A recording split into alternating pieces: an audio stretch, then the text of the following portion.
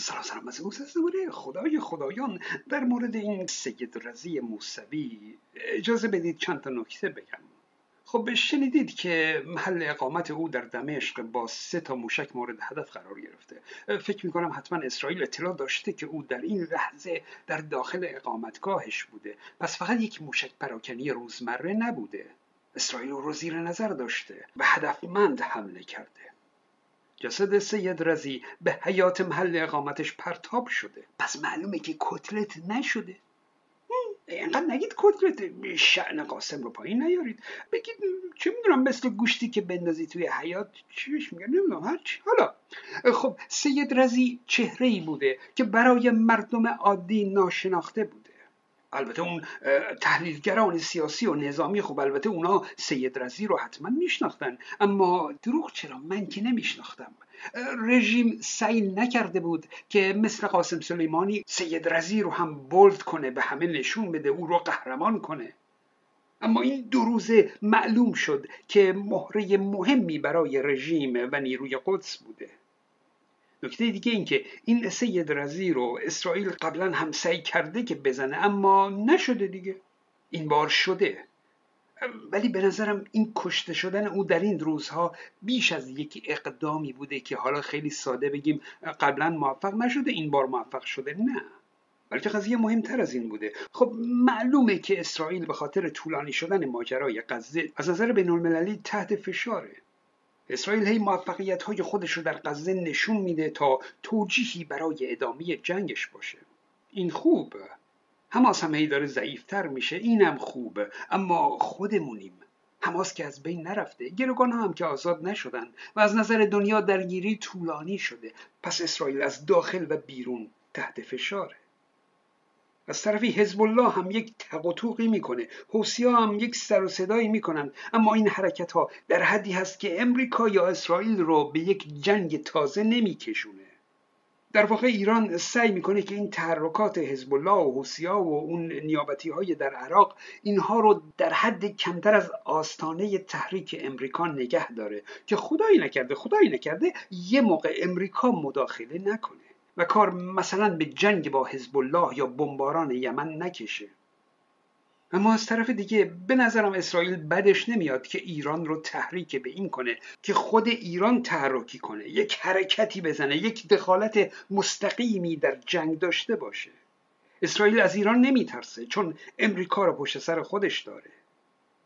برای حماس امریکا دخالت نکرد نیازی به دخالتش نبود. اما برای درگیری مستقیم اسرائیل با ایران امریکا کنار نمیشینه فقط نگاه کنه. حتما می‌زنه. حتی اگه در رأس امریکا آدم محتاطی مثل بایدن باشه. وقتی امریکا هم وارد درگیری بشه حتی اگه دخالتش کوتاه باشه اون وقت دیگه تداوم جنگ اسرائیل در غزه قابل توجیهه. چون منطقه متشنج امنیت برقرار نیست پس قابل توجیهه که جنگ باید ادامه داشته باشه. اما خب ایران هم که بچه نیست. این همه خرج این نیروهای نیابتی پرمدعا نکرده که در موقع درگیری خودش وارد جنگ بشه. نه.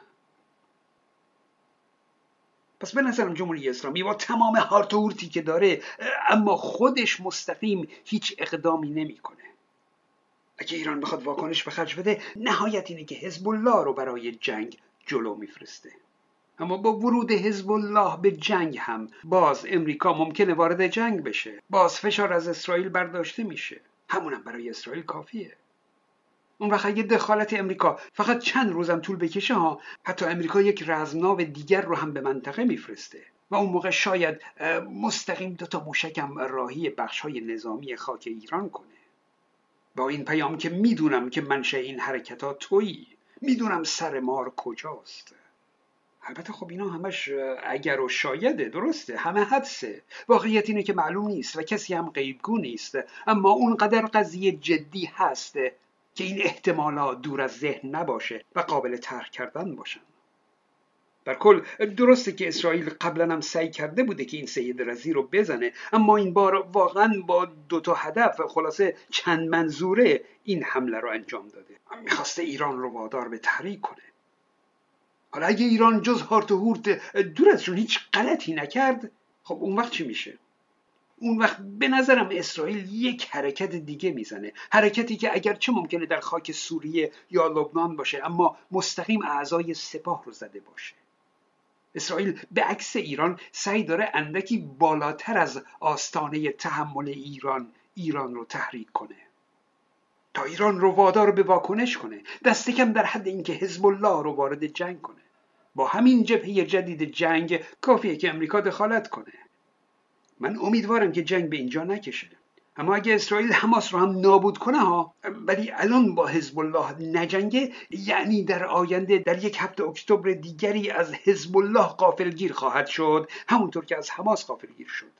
اینی که اسرائیل ترجیح میده تا آمریکا به منطقه تشریف آورده بد نیست که بدون قافلگیر شدن تکلیف خودش رو هم با حزب الله روشن کنه.